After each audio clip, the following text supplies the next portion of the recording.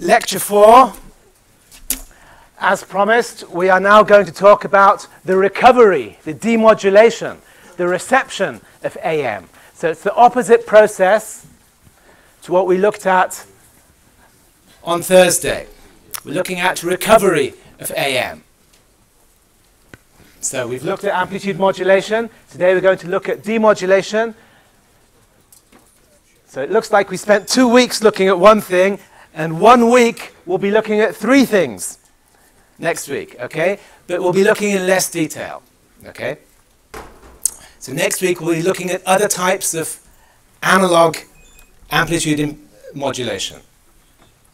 So today, AM, which is DSB LC, remember that? So remember this? From last week we said the modulation index is the depth of modulation, so it's the maximum am amplitude minus the minimum amplitude divided by the sum of those two. And we said for best modulation, you'd have something as high as possible, as close as possible to 1. Anything greater than 1 is overmodulation, and that's no good.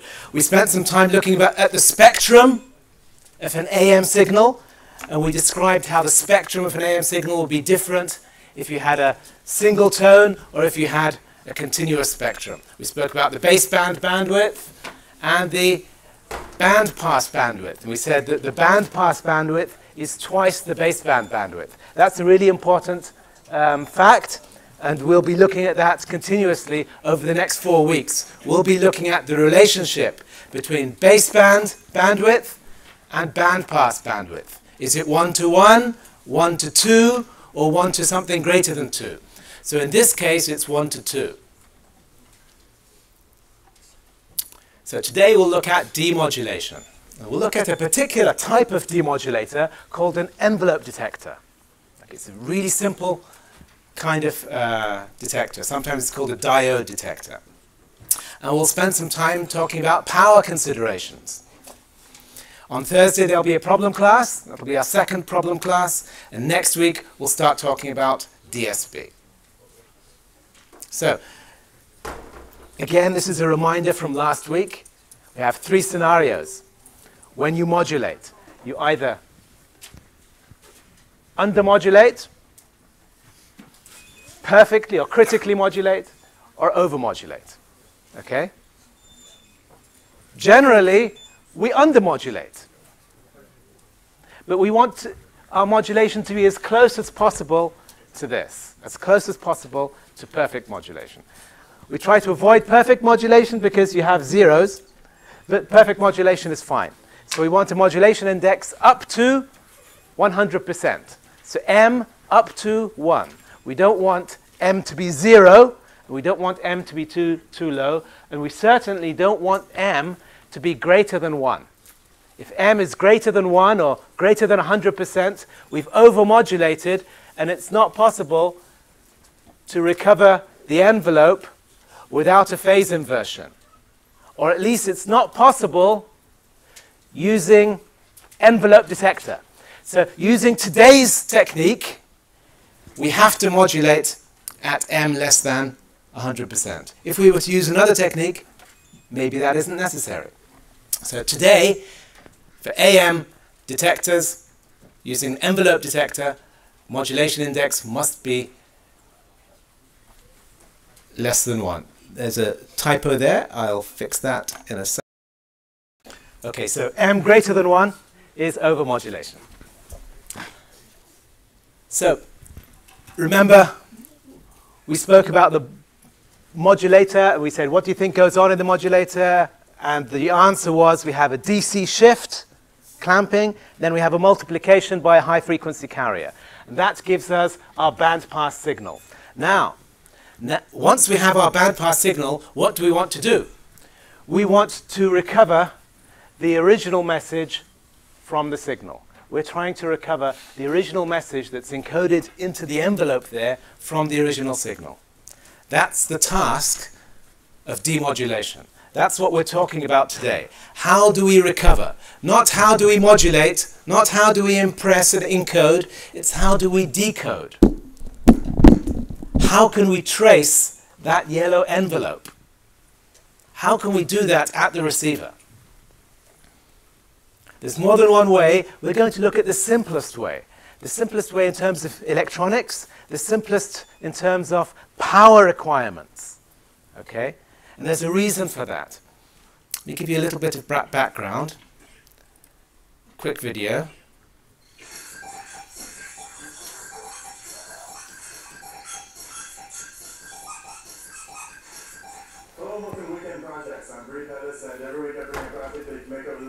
This week we're going to make a foxhole radio. During World War II, GIs got really clever and made up really cool radios that were super simple so that they could listen to radio stations. There were German stations you could listen to, and sometimes you even got lucky and heard an English station. To make this project, you're going to need a toilet paper tube, you're going to need a safety pin, a bunch of thumbtacks, and a razor blade.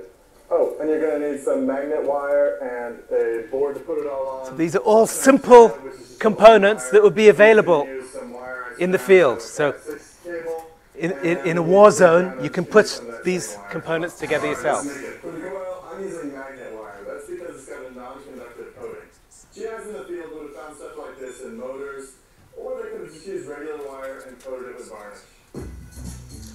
Attach it with tape before you wind it up, or put a hole in it and tie it on. That'll keep it from slipping as you wind it up.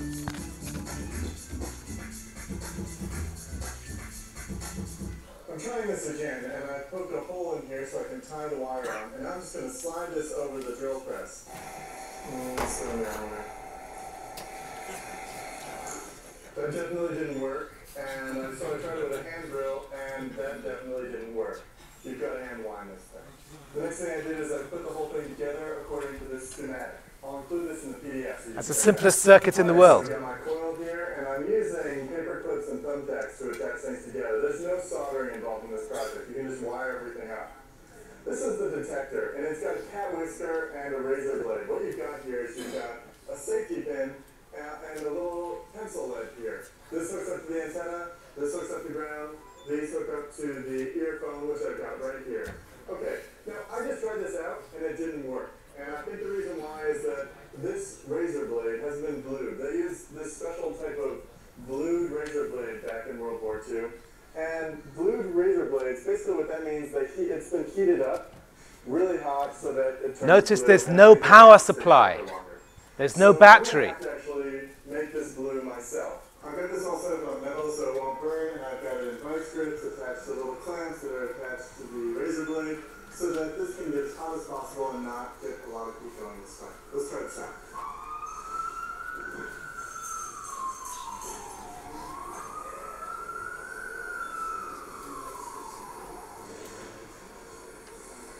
Right now I'm by the window, and I'm doing that because I've got the antenna going out the window and the ground hooked up to the radiator here as a ground.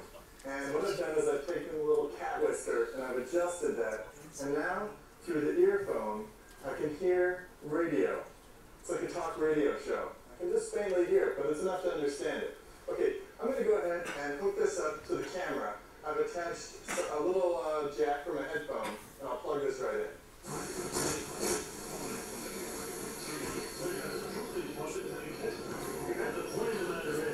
You see that?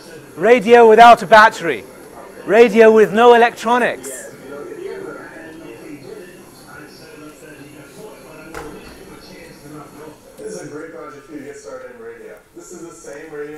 GIs used as they were in foxholes in Europe. And it's really simple and really fun. It doesn't use any batteries. All the power comes straight out of the air, the radio waves. Okay. The power comes straight out of the air. And that's the important part. The power is contained in the carrier. That's why it's called DSB-LC. There's a large carrier that contains enough power for you to be able to operate your homemade radio without any power supply. Okay, so what was going on in that circuit? Two things. One was rectification. Well, two, three things. one of them is not included here, which is the tuner. So that coil, that was your tuner. That was to choose the frequency. But this diode is a rectifier. So that takes your AC signal and changes it into a positive AC signal. So it clips the negative half cycle. Now, the important bit is the capacitor. The capacitor is the bit that's going to try and recover, it's going to try and recover this envelope. How does it do that? Well, imagine you have a capacitor that's charging and then discharging, charging, then discharging, charging, discharging. And it's doing that with every cycle. So the capacitor charges, then discharges, charges, then discharges. If you choose the time constant RC carefully, you're able to help that or to allow that capacitor to trace the envelope. It's not perfect, but it's good enough to be able to hear the radio. Now, you can't have the time constant too big, and you can't have the time constant too small. So it needs to be contained between your carrier frequency and your modulating frequency. That is your message frequency. So if the time constant is too big, then the capacitor, as it discharges, it'll miss parts of the signal. And if it's too high, well, you have high frequency distortion in your signal. But between those, you're able to trace the envelope of your signal. So that's an envelope detector.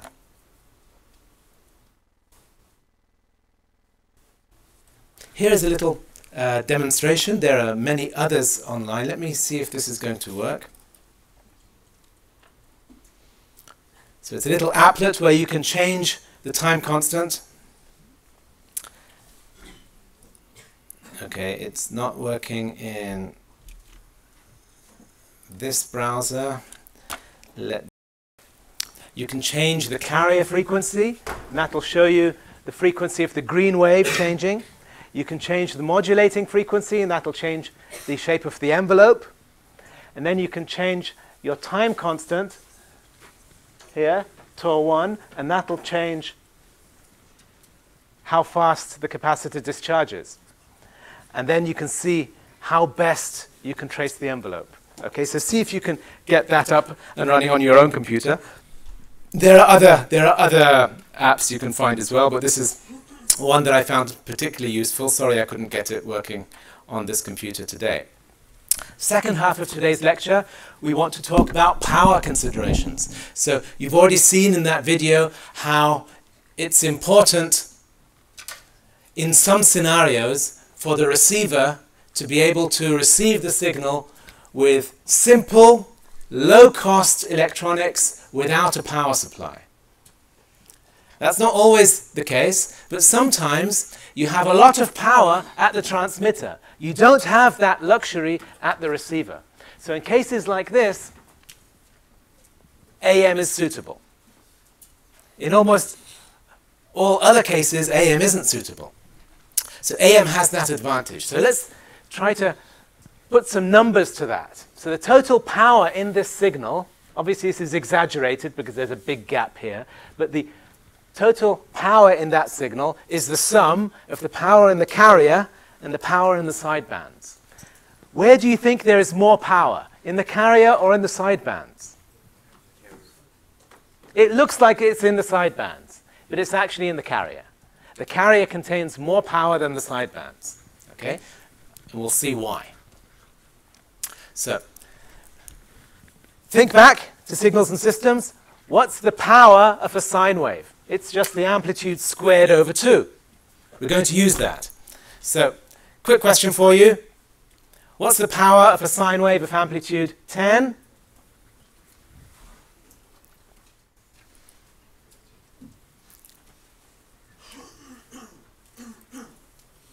Is it working?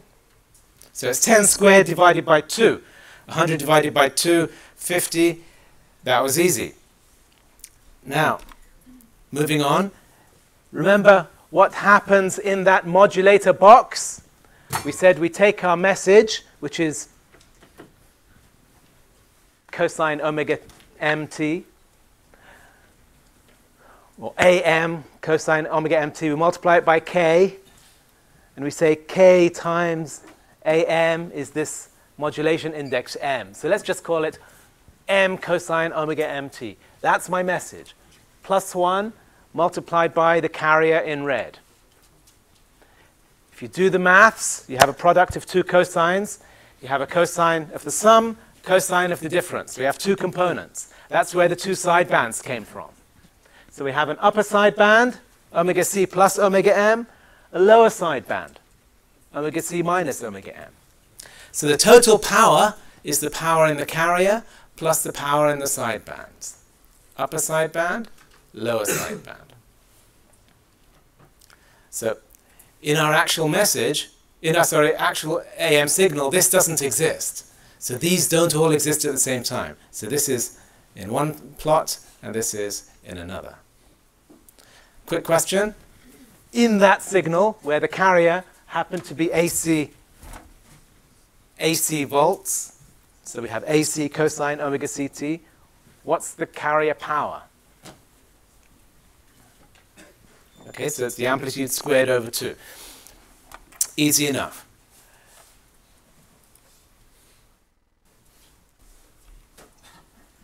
Now we're going to look at each of the side bands. We're going to look at each of the side bands and we're going to ask the same question. What's the power of the side band? So look at the side band. Look at the upper side band. How much power do you think there is in that? That's the next question. How much power is there in the upper side band?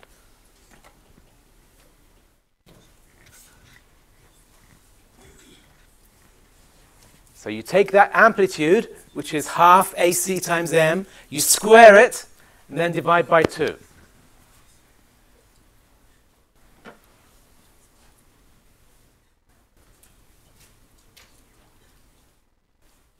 So if you square the half, you get a quarter. You half that, you get 1 over 8. So it's 1 over 8 m squared ac squared. Okay, so it's option C there. So it's all that squared divided by 2. Now, that's the power in the lower upper side band. The power in the lower side band is exactly the same. So together, we have 1 quarter AC squared. So now we want to find the ratio of the sideband power to the total power. So the ratio of useful power to non-useful power is something we call efficiency or power efficiency. So power efficiency is the ratio of the useful power, which is the power in both sidebands, divided by the total power, which is the power of the carrier plus the power of the sidebands.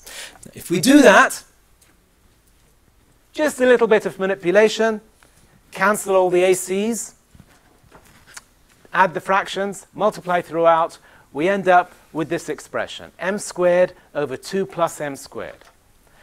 That tells me the efficiency as a function of the modulation index. So if you, you know the depth of modulation, you can find the efficiency. This is a really important relationship. It's almost the only relationship we need for lecture four. So the two things you need to know for lecture four, or the two mathematical relationships, are that the time constant, RC, is somewhere between 1 over FC and 1 over FM. The second thing you need to know is that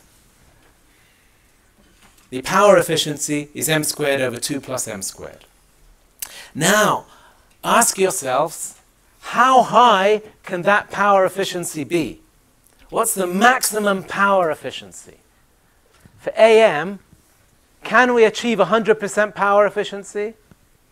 How close to 100% can we get? So look at that formula and ask yourself, what's the most efficient?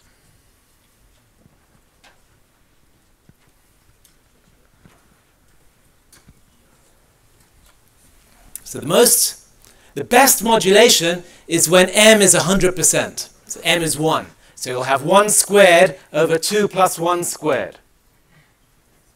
So that's one third, or 33.3%.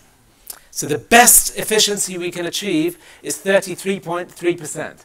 That means 67% of the power is wasted. Is it really wasted? Yeah. No. 67% of the power contains no information, that's true.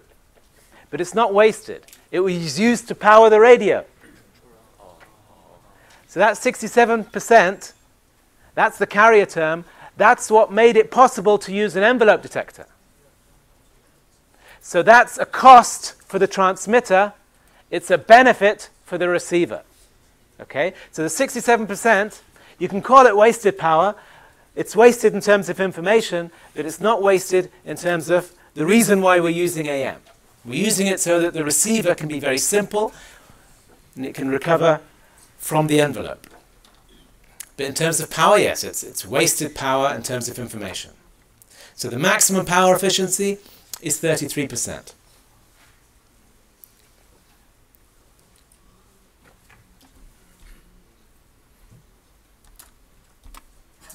Okay? Summary of what we spoke about today. In AM, we have two sidebands, an upper sideband and a lower sideband. We have three cases, overmodulation, undermodulation, and perfect modulation or critical modulation. We tend to undermodulate as close as possible to critical modulation or to perfect modulation.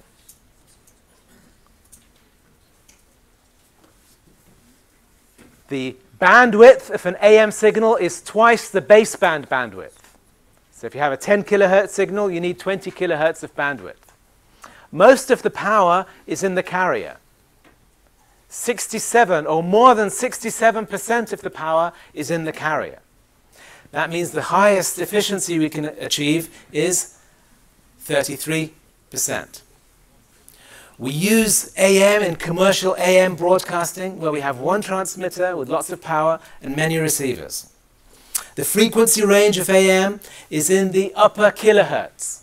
So we're talking about 500 kilohertz all the way to very low megahertz. Okay, after then, after that, it becomes FM. Okay, so AM, you have low frequencies, high kilohertz, long wavelengths. FM, that's what we're going to talk about in three weeks' time. That's where we have higher frequencies. So that's a summary of today's class. Thursday there'll be a problem class. It'll be a Kahoots class with a problem sheet that I'll give you, and there will be online solutions to those problems. We'll talk about other types of analog modulation on, on Monday. Next Monday, we'll talk about DSB, SSB, VSB. We'll talk about modulation, demodulation. That, that, that'll take two weeks. And then there'll be a problem class after that. So, short lecture today. I hope you found that useful. I'll see you all on Thursday.